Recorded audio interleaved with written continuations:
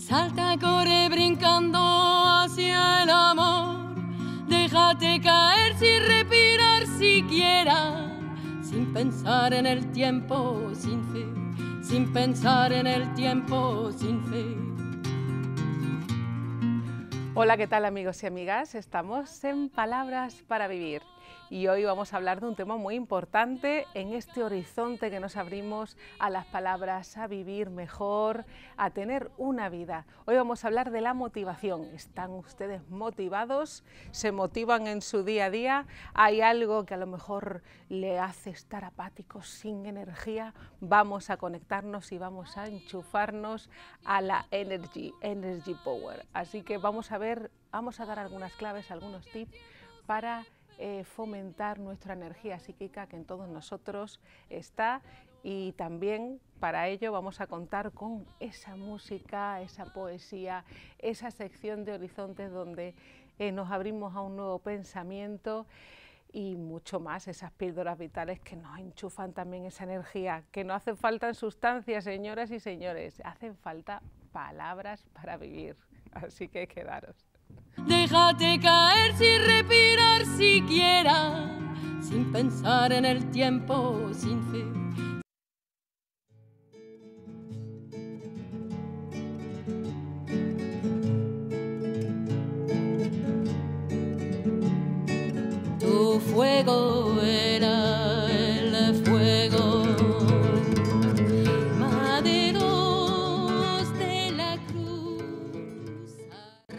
Hazlo todo como si fuera verdad.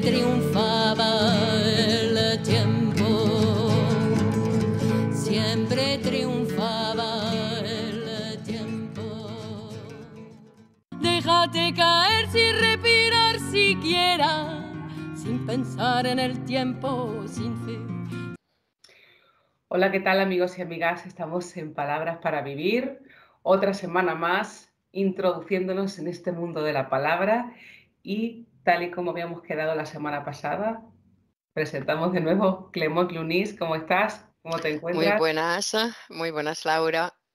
¿Qué tal? Eh, aquí Motivada. estamos una semana. eh, ¿cómo?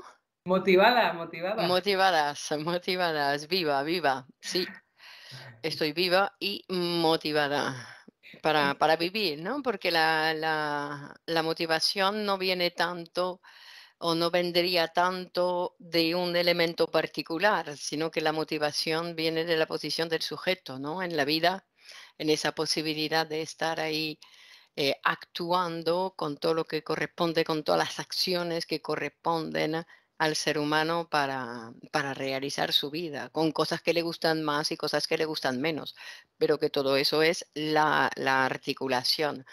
Pero evidentemente, ¿qué pasa cuando hay una, como ahora en ese inicio de año, que ya hemos saltado esos primeros días y que ahora hay que eh, implicarse en todo ese movimiento y hay como una dejadez o que puede haberla, que puede haberla una dejadez, una tristeza, una falta de ánimo, falta de motivación, ni, ni siquiera ganas de no hacer nada, pero sin ganas. Es así un poco una apatía que decíamos. Es interesante esa puntualización que ha hecho, ¿no? Estoy viva, ¿no? Claro, porque realmente uno puede estar de cuerpo presente, pero a lo mejor no está vivo en el sentido que no tiene su energía psíquica, su libido puesta en el exterior.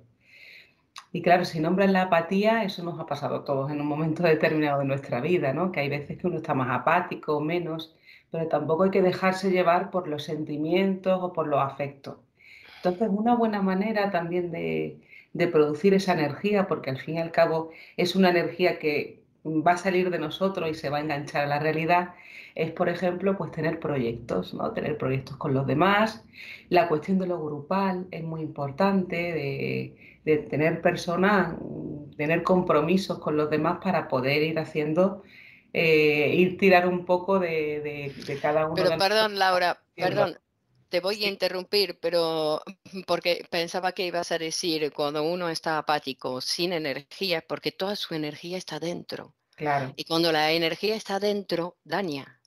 Porque la energía del ser humano está hecha para estar afuera. Así que se recomienda urgentemente acudir a un psicoanalista. ¿Por qué? Porque ahí se inicia una labor para tenerla poco a poco, ir poniendo la energía afuera. Porque cuando uno se queda con toda su energía ahí o comiéndose el coco o pero que ya fantaseando que sea a bien o a mal, pero claro, esa energía que se queda en uno nunca es favorable. Es decir, que en cualquier caso conviene, ¿no? Porque llegar a tener proyecto ya es tener esa energía para ir al proyecto. Y para eso el inicio sería como decir que el, tratamiento o la relación analítica es la que permite hacer primeros pasos para que la energía pueda empezar a salir. Porque si no, está tan uno se queda ahí abrazado a su energía y no la quiere largar. Entonces ahí es... Puede ser también por una melancolía, una depresión, por algo que uno ha perdido, ¿no? Inconscientemente, claro, no es algo que uno pueda determinar, sino que es algo que uno se ha quedado ahí identificado con eso que perdió y no puede movilizar esa Claro, porque a veces lo que uno ha perdido, lo que uno ha perdido a veces es lo que fue el año pasado. Esa que yo fui el año pasado ya no existe. O un ideal también, o un ideal que uno tenía en Sí, sí, muchas cosas, pero digo que a veces son cosas que de la vida cotidiana que le toca a todos, no que me toca a mí particularmente porque a mí me pasó tal cosa, sino que le toca a todos. Que hay cosas que uno tiene que aprender a poder no, mm, no, que no le dañe las cosas, los movimientos de la vida no me tienen por qué dañar y que a veces el sujeto es tan sensible que le daña. ¿Por qué? Porque el año pasado, ¿sabes lo que hacía? Hacía tal cosa, tal cosa y este año ya no lo voy a hacer. Entonces esa que fui, ¿no? Que se implicaba en esto, que se implicaba en lo otro, ya este año no hay. Entonces hay algo, he, perdida, he perdido, ¿no? La, la, la que fui, he perdido la que fui. Y hay un puede haber, es decir, para enseñar esa sensibilidad del, del sujeto, ¿no? que el sujeto es muy sensible y que a veces está, ¿no? porque cuando tú decías es inconsciente, es que uno no se va a dar cuenta, no se va a dar cuenta. Se va a dar cuenta porque va a tener la apatía, para no sé lo que me pasa, pero no tengo ganas de nada. Claro, es importante ese no sé lo que me pasa, ¿no? Porque a veces también es por la relación que uno tiene por los demás, ¿no?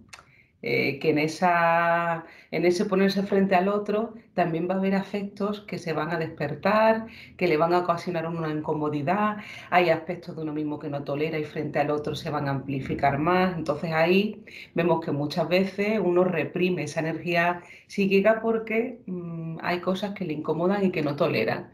Y que ahí es donde gasta muchísima energía para retener esa parte de uno mismo y no salir al exterior porque hay un choque ahí, algo que no tolera y que no permite y que, que se escenifica en ese cansancio, esa apatía, ¿no? Que, le es imposible ponerse en juego en la vida, al fin y al cabo, ¿no? Lo que pasa es que, claro, uno se pierde vivir, se pierde transformarse, se pierde relacionarse con los otros porque hay una dificultad ahí y que tiene que ver con mi yo, con mis propios deseos que están reprimidos en mí, que no los puedo tolerar. Entonces, claro, por eso el psicoanálisis nos ayuda a, transformar esa manera de reaccionar, ese modo de utilizar la energía psíquica, que al fin y al cabo son solo palabras, ¿no? Que son solo palabras y son solo cuestiones que a todo el mundo le pasa frente a los demás y que ahí pues puede haber una problemática en la persona y que no se da cuenta que de repente que uno no se da cuenta porque y no sabe claro porque no sé por qué, pero lo que estabas diciendo me hizo pensar en, en algunos fenómenos que están bastante habituales en ciertos sujetos, justamente grandes trabajadores, que tienen lo que llaman el burnout. Ajá, ¿no? Eh, que no sé lo que quiere decir en inglés, eh, pero es como, no, pero que es, no, Ajá, pero es caer, es caer, ¿no? Y que la gente a veces dice, no, no, yo estaba implicada en mi proyecto, apasionada, no sé qué, y de repente empecé a tener unos síntomas y caí. El médico me dijo burnout, es decir, que el sujeto no vio nada, no vio nada, estaba apasionado por su trabajo y tan apasionado que toda su energía estaba puesta ahí, etcétera y estaba moviéndose, pero de repente hay una consecuencia física, porque lo que le detiene es algo físico.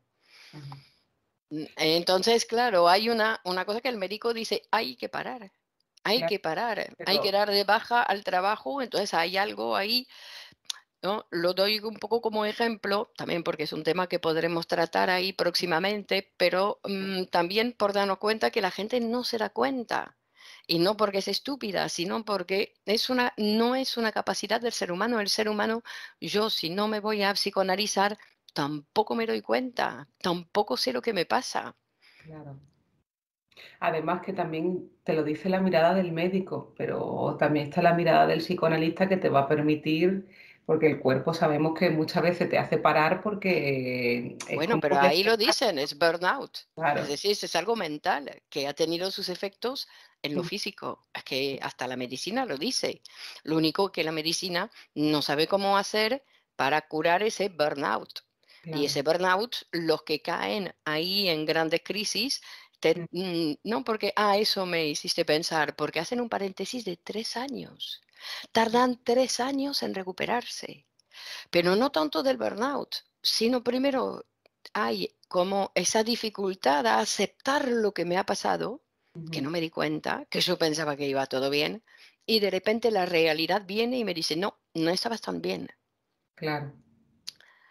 Y después, entonces, y mm, aceptar eso y después volver a engancharse con o otra cosa y uno se tiene que transformar, porque si no me transformo es que voy a volver a caer en el burnout.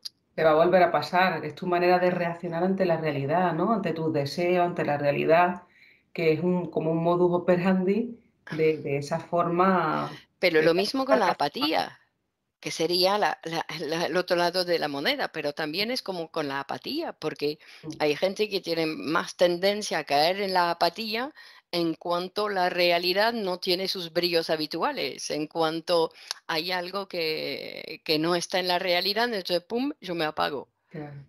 Pero ya Freud nos dijo ¿no? que no tiene nada que ver con la realidad, porque una misma realidad para cada persona es diferente. No, no, una misma situación, todo el mundo reacciona de la misma manera. No tiene nada que ver con algo externo que a mí me produce un trauma, sino es mi forma de reaccionar, mi forma de ver la realidad, esa realidad, ¿no? Claro, claro. Que va a ser diferente para cada uno. No hay situaciones estresantes de por sí, ni situaciones que me vayan a producir una manera X de reaccionar, ¿no? Sino que en cada uno vemos la predisposición que tiene la persona, porque en cada año vemos cómo hay personas que llegan el fin de semana o llegan las vacaciones y vemos cómo cada uno reacciona, ¿no? Uno puede reaccionar de manera melancólica o otro tomar una ilusión por esa fuerza de, del comienzo pero ahí vemos que es nuestro modo de reaccionar y que, y que claro, que forma parte de todas las personas, pero que tal vez hay cosas que en uno mismo tiene que trabajarlas para, para simplemente vivir mejor, ¿no? Y que, y que bueno, que la motivación, digamos, esa, esa energía psíquica que debe estar en todos nosotros, pero a ver dónde uno la pone, ¿no? Y eso es algo inconsciente, que uno no se da cuenta. Lo puede uno poner en una enfermedad o en un proyecto, en tener ilusión de futuro, comenzar a trabajar para ello, por eso es tan importante el psicoanálisis, para, para ayudarnos. Para ocuparse de, ese, de, esa otra persona que soy que no, no me conozco, ¿no? Porque si somos seres divididos con una parte consciente y una parte inconsciente, pues si yo no me psicoanalizo, hay una parte de mí que no me ocupo que no seré ella, solamente vivo sus efectos, entonces vivo como, como un escaparate en la tienda, es decir, que veo lo que hay en el escaparate, pero en la traste tienda no sé lo que está pasando. Entonces no sé si hay mucho producto, si hay mucha energía o no. Claro, que puede convertirse en un aliado o en tu enemigo, depende. Si, si hay una conciliación entre ambos, pues hay una energía psíquica muy fuerte junto con las personas del exterior, ¿no? Porque también me pareció importante señalar la cuestión del grupo y de, otras personas que son importantes para tu vida. y que también la energía se hace haciendo, no una cosa, porque también hay una idea, ¿no? y con esto ya terminamos, hay una idea también que pensar que trabajar o hacer determinadas cosas te cansa. Y es al contrario, porque te produce más energía. Es una situación en la que te produce mucha energía, porque el cansancio físico es un momento, pero eso te va a producir un tiempo y una energía que no te lo Bueno, si te enganchas con lo que haces. Claro, pero por eso no. depende, depende la apatía, el nivel de apatía, ¿no? Porque a veces la apatía es tan fuerte que uno... Pero bueno, así que recomendamos una vez más el psicoanálisis, que eh, hablar siempre mejor, mejor hablar, mejor hablar. Muy bien. Pues Muy bien. Seguimos la semana que viene, genial. Muy bien, muchas gracias. Hasta luego. Chao. Chao, Laura. Déjate caer sin respirar siquiera, sin pensar en el tiempo, sin fe.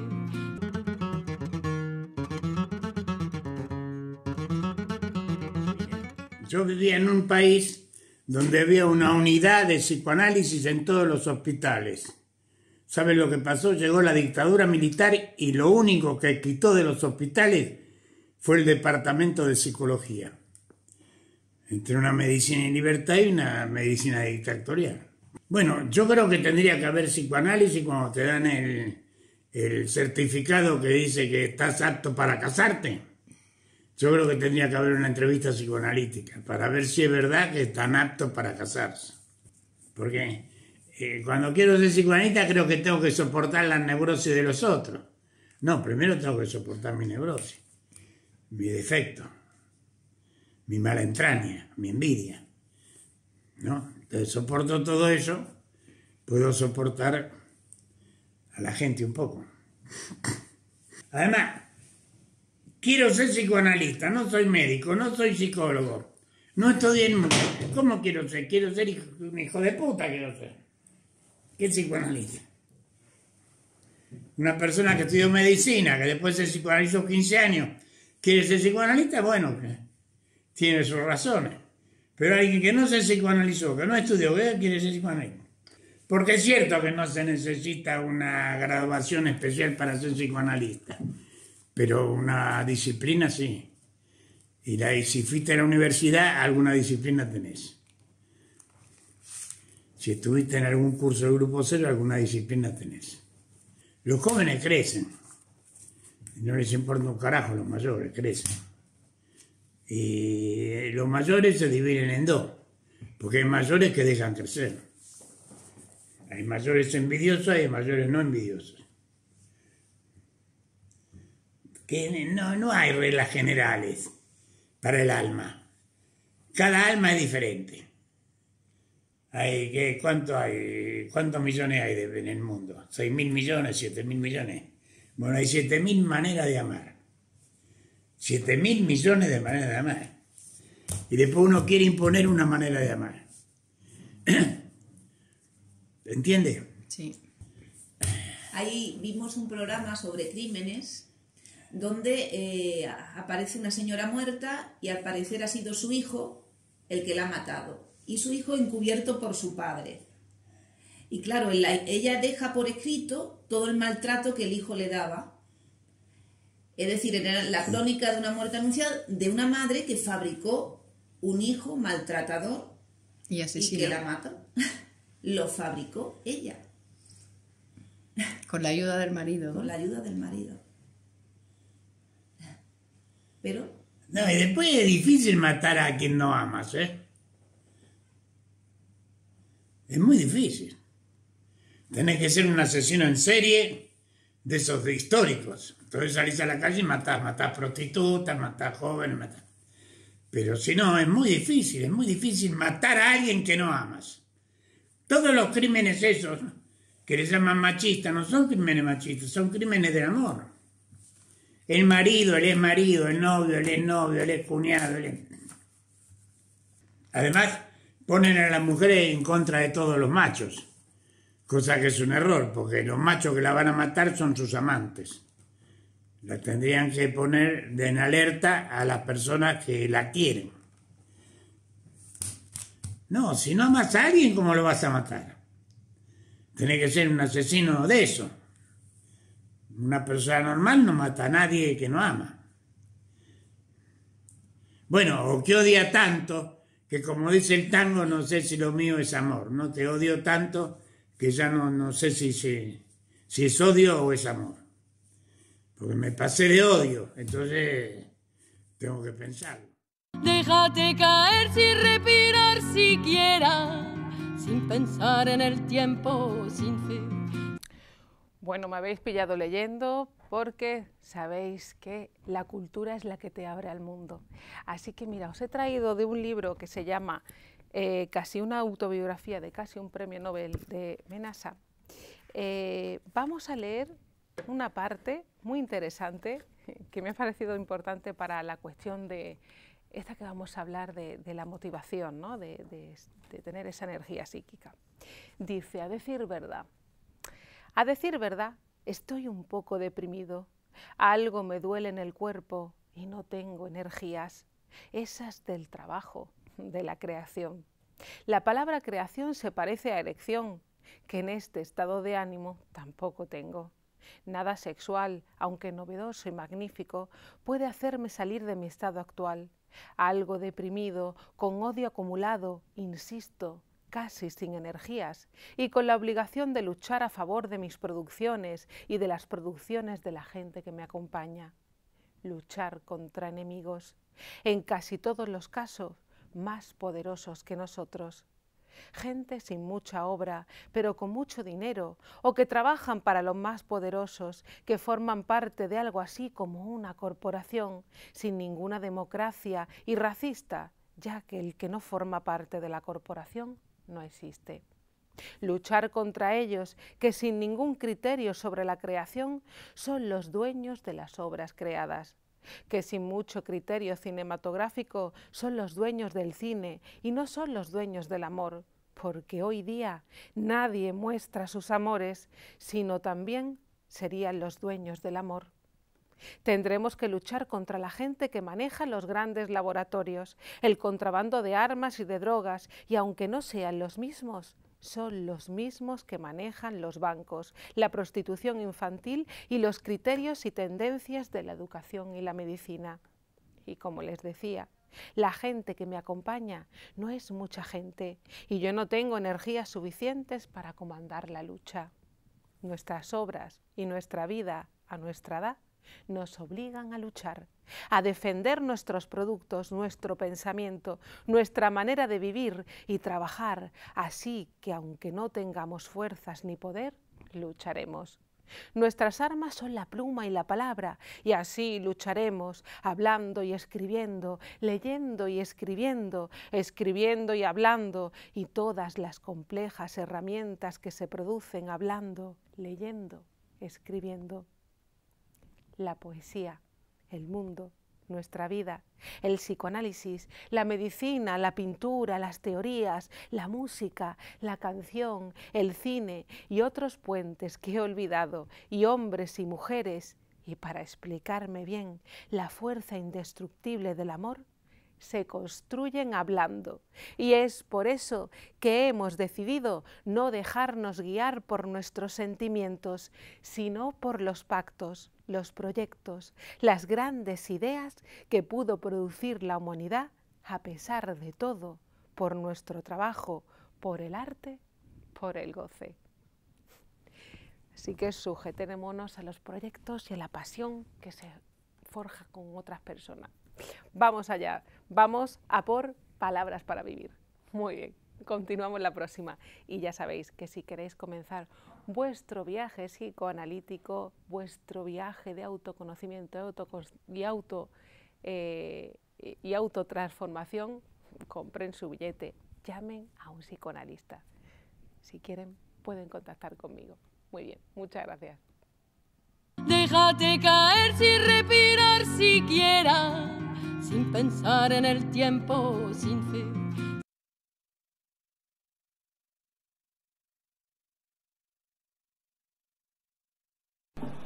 A veces tu egoísmo me parte el corazón y sin embargo sigo ambicionando esta maravillosa, a mi entender, conversación contigo, aunque para que eso sea posible yo tenga que llegar al borde mismo de la soledad. A veces, quiero decirte, te veo más obligada que apasionada, como si nuestra conversación fuese un paso necesario, obligatorio para tu vida, y no una terrible, tremenda decisión. A pesar de haber clamado con todas tus fuerzas por una situación semejante a la que estamos construyendo, ahora te pasa como si no pudieras soportar bien la cristalización de tus propios deseos. Tu destino, antes de conocerme, estaba sellado. Un día, después de muchos intentos, lograrías enamorarte de un hombre y ese mismo hombre, propiamente enamorado de vos, te mataría. Quiero decirle que usted sabe que de mí puede enamorarse sin temores. Soy el hombre que ha decidido no matar. Ahora claro está, usted, para que nuestro amor sea posible, tiene que abandonar la idea de suicidarse entre mis brazos. Salvados estos deseos absurdos de matarte y matarte, la conversación podría llegar hasta el mismo centro de la filosofía. Quiero decirle que tendremos tiempo para todo.